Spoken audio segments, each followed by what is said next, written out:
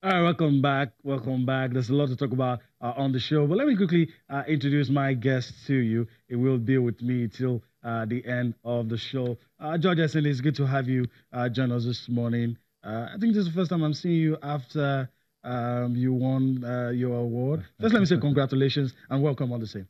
Thank you very much. Thank you very much. I'm, I'm humbled. Okay. Thank you. It's well deserving. well, thank you. I, I've, I've heard that, you know, uh, um, sometimes, and I feel that, look, um, all those who were nominated were also winners, you know, but it's just about consistency and then, you know, uh, staying true to the game, you know, keep talking sports. And, you know, uh, I, I think that um, I want to thank everyone, thank right. the organizers, and thank all those, the judges who voted. So right. it's, it's a very, I, I'm in Cloud Nine. I was actually in South Africa when, you know, I couldn't attend the awards. you know, so I, I was like, very excited. So we celebrated in style in South Africa. All right. And Uh, the Super Eagles won, uh, you know, Qualified. On Qualified. cake. Yeah, so Okay. it's great. All right, very good. Okay, so um, before we talk about the Super Falcons, let's talk about the proud son of Africa, Didier Drogba, finally calling time uh, on, on his career. I don't think there's anything else we can say about Didier. He's done it, seen it, and um, a, a lot of us even expected it earlier than Yeah, this. yeah. But you know, the staying power was just there for him. Kept on playing, bought a club, playing for the club. I mean, did a lot. I mean, wh- what can we? What else can we say about his career? I mean, nothing else really. Um, he'll always be an icon. You know, there was even um, some insinuations that he would come back again for a third spell. He has done two spells for Chelsea, uh, which is which is great. He would have come back for a third spell because at the point uh, there was, I think there was a game like uh, in the 2016-2017 season that fans started shouting, "Where's Drogba? Where's Drogba?" you know, but hey, there was a Diego Costa that time. Uh, so he's done so well. In fact, the, the way he's uh, represented Africa, you know, he's, he's been a great ambassador for African football. Uh, that even when he gets to Cote d'Ivoire, the way he's received every time, it's even uh, more than the way they will receive the, the president of a country. Sometimes the president comes to the airport to receive him. Yeah. And not just because he was a Chelsea player, because he was he was a passionate footballer. He, you know, he the game. He mastered the game. He knew how to connect with fans. He was just outstanding, no doubt. And he spent his last months, you know, playing for the uh, his uh, the team that he co-owns. Um, it'll be exciting to see if he's going to go into coaching. You know, so we want to see want to see His that. next move. Yeah, his next move. I, I mean, he's he's a club owner, you Mm-hmm. know, but let's see you on the touchline. management Are just. I, I'm wondering, yeah. I'm wondering who he would emulate. I think it might be Mo- Mourinho, if you know, on the touchline. Didier Okay. Mm-hmm. Drogba, very passionate, great player. And thank you very much for all That is his years. Uh, Yes. all right. Uh, let's see some of his achievements. Um, a number of goals that Didier uh, has scored. I mean, ju- just just look at it. Uh, career titles: one UEFA Champions League, four Premier League titles, four FA Cups, three League Cup, one Super League, one Turkish Cup, uh, one Turkish Super Cup, and two times two African times Footballer of the Year. African Player of the Year. Would have been more as well. Could have been more. Yeah. I, I know the one that escaped him that he probably would not be excited about is the um, Nations Cup. yes. you yes. know, which they had the golden generation then. They almost won. They got to the final. Very, but good thing, yeah, close. good thing that is okay. The next edition, you know, Cote d'Ivoire won Mm-hmm. it, but that would have been the time. Uh, but he said no. Um, I have to just quit the national team at that point. So, uh, but aside that, I, I think he's he's done so well in football. Come on, you, you can't take anything away from him. Um, he's there, the top goal scorers, not just in the Premier League for Chelsea as well. Everywhere it's played, actually. Yeah, everywhere. You know, so uh, he's he's just been great. All right.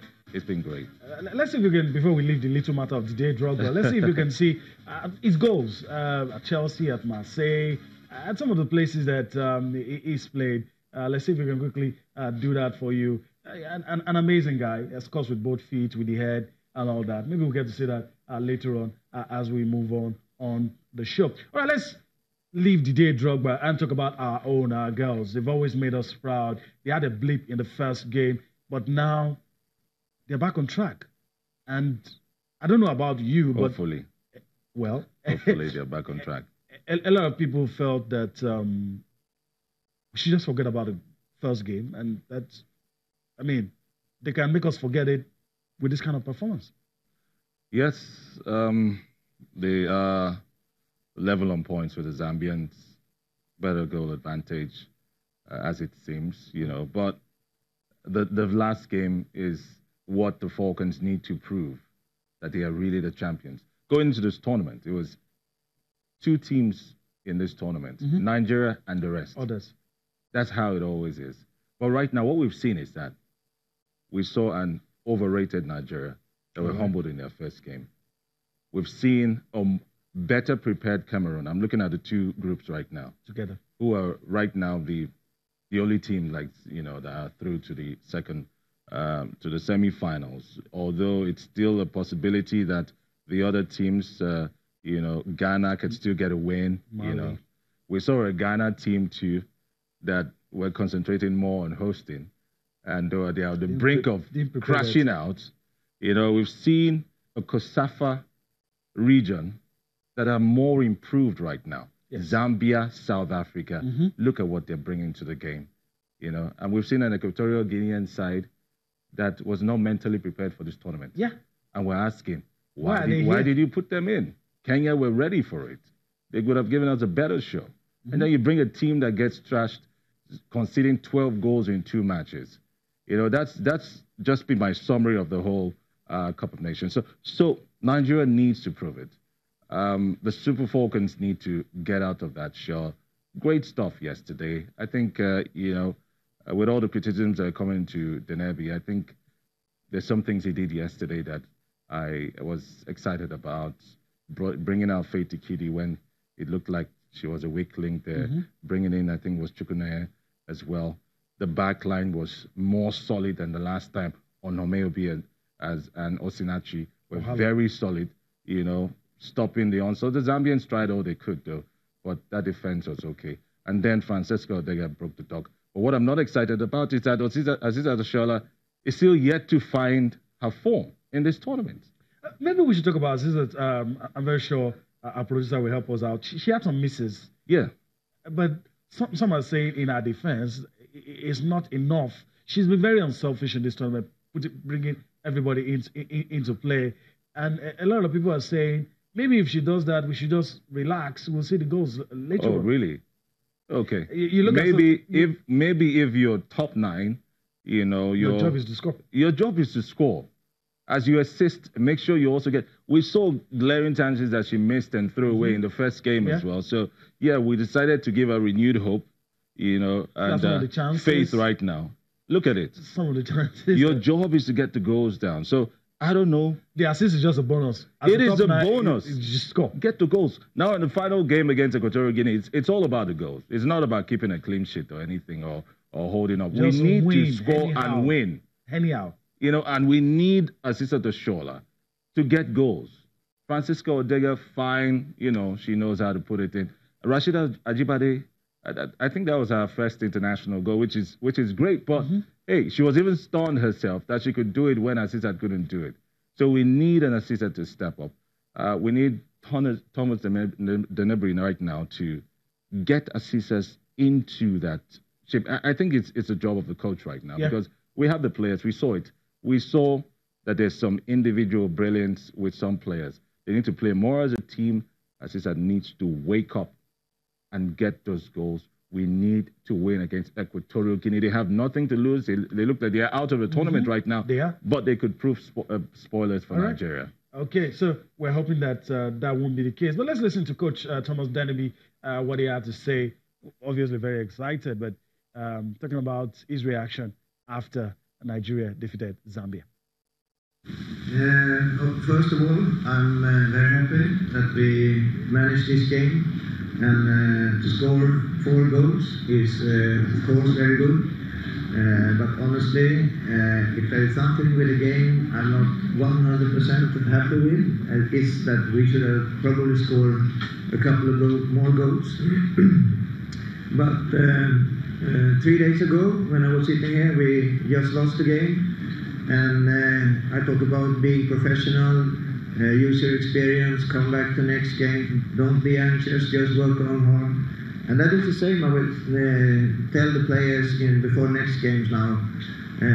that don't think that this game we won today is the final game in the group play. Now we have to work hard, as hard as today, or even harder next game, so we can secure uh, uh, the game in the knockout stages in the semi-final. So uh, we stay cool and just work on. But of course, I'm happier today than three days ago. All right, house coach Thomas uh, Let's also listen to the players too. The, you know their reactions after uh, the game. Let's listen to a couple of them, what they had to say. Then we'll come back for more sports this morning. Yeah, this game is really important for we and entire Nigeria. You can see the guests are happy, everybody are happy. Um, we can't say it all. And the fact is uh, we are always known to be the African champion and uh, being defeated by South Africa, uh, it was a slap on our face on that day. So we all had to just go back to our shell and talk to ourselves and just have to come out strong as, as champion, which we are. Um, I'm super excited because the last game was kind of, mm, you know, but we're happy we come out stronger and stronger and we're improving better as a team, collectively, individually. We're trying to be there. So we were so angry about our performance the last game. We were so angry, and everyone was like, "We need to score. We need to win. No matter what it takes, we're going for it." And you can see this spirit, everything. We're just giving up, giving out everything we had, the energy and everything. So that was just what we talk about it was very important to us. We needed to win. We we lost against South Africa and we weren't happy about it, so we had to win. It's a game of football. You expect anything, anytime, and that's what happened. Yeah, compared to the last game, we didn't have this kind of passes, too like too many passes, two, three passes between us, but it was actually easy for us to get used to the ball, and then the goals were just coming on its own. All right, the girls there. Rita Chikwelu, mm. Ajibade, uh, Rasheedat, you had uh, Francisca Ordega, and Ngozi Okobi. Uh, I mean, your thoughts uh, to, yeah, to, to, their I response? Think, I think, um, well, they said it all. They obviously stepped up their game from the last time. We saw fights. You know, I think what was the back of their mind was, ah, we're not going to lose this game. Oh. Yeah. We don't enter and be that. You know, so I, I like that spirit. And that's why it looks like it was, and with no slight on Thomas Dennerby, I think it was the players who actually, you know, spoke to themselves and said, "Look, we can, do, do this. this. We can certainly do it. So let's let's just go out there. Whoever gets the goals, as he said, supplied, good. But hey, we also need her to step up and know that look, this thing I die we deal. Sure, you understand. And then we'll leave the aspect of the coach and what happens after this tournament because Florence Omagbemi qualified us, won, won the Nations Cup, and she still got sacked. And uh, she's someone that who communicates with Pidgin, Pidgin English. Hey, move there, wait till they are. Uh, I see that, I see that, you know, they see. You know, so I'm not, I'm not saying, well, the fact that we go to the uh, World Cup and cannot make any headway has probably called for a foreign coach mm-hmm. to come on board. But to win the AFCON, certainly we don't need a foreign coach. Uh, but that has been done. I think that maybe Pinnick and Co had eyes on, you know, the, the World stage. Cup, the global stage. But I'm sure they got a big scare when we lost the first game, mm-hmm. which has never ever happened under an indigenous coach. So let's hope that Thomas Dennerby gets right. through this. Anything short of winning the title is going to be a failure on his part. But I'll wait to see what's going to happen then. But I'm rooting for the girls. Right. They realized that they need to live up to their names as the uh, African champions. okay, well, interesting things happening. So we'll see. We'll see how far uh, the girls will be able to go. Let's go to break now. When we return, we're still going to be talking about the Super Falcons all day. All right, so go on that break. I return for more. Discuss this morning.